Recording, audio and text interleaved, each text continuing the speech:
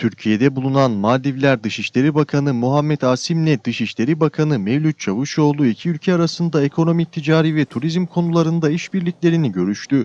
İslam İşbirliği Teşkilatı içinde yine Birleşmiş Milletler çatısı altında sadece ikili düzeyde değil e, güçlü bir işbirliğimiz var, dayanışmamız var.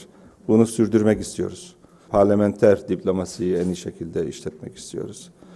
Keza e, ikili ticarette e, ikili ticaret hacmimizi yani ikili ilişkilerde ticaret ekonomik işbirliği çok önemli.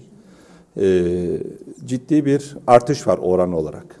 Ama rakam olarak baktığımız zaman 200 bin dolardan 36.1 milyon dolara çıkmış.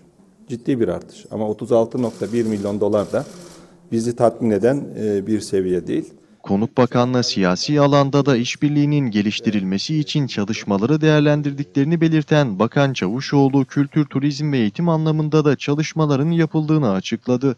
Çavuşoğlu ortak basın toplantısında Myanmar'da Müslümanlara yönelik katliama sert tepki gösterdi. Tüm buradaki e, şehitlere Allah'tan rahmet diliyoruz.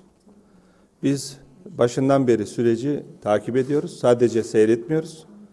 E, tüm dünya ile temastayız. Sayın Cumhurbaşkanımız Recep Tayyip Erdoğan ve Sayın Başbakanımız Binali Yıldırım bizzat süreci takip ediyorlar. Birleşmiş Milletler nezdinde yani New York'ta e, Güvenlik Konseyi üyesi ülkelerle ve Myanmar ve Arakan'daki e, bu durumla ilgilenen ülkelerle de temasa geçtik. Çavuşoğlu, Rohingalı Müslümanlara yönelik saldırıların sistematik olduğuna ve ırkçı gruplarla dini liderlerin katliama ön ayak olduğuna dikkat çekerek İslam İşbirliği Teşkilatı üyesi 56 Müslüman ülke liderlerine seslendi. Artık köklü bir çözüm bulmamız lazım. Yani bu bir şekilde devam edeceğiz. Bu zulüm, bu insanlık dışı muamele bu şekilde devam edemez. Tüm dünyanın bu konuda duyarlı olması lazım.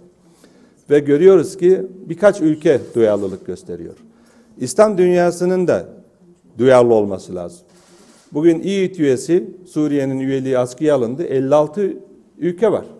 56 ülke birlikte hareket edip ve tüm dünyanın da desteğini alarak biz burada artık bir çözüm üretmemiz lazım. Dünya ülkelerinin liderlerine de seslenen Çavuşoğlu bu çağda bu katliamın utanç verici olduğunu vurguladı. Gerçekten e, bu çağda e, utanç verici tabloları görüyoruz ve bunların son bulması gerekiyor. Türkiye olarak biz hem e, üzerimize düşeni yapacağız hem de tüm dünyanın daha duyarlı olması için gerekli çalışmaları e, sürdüreceğiz.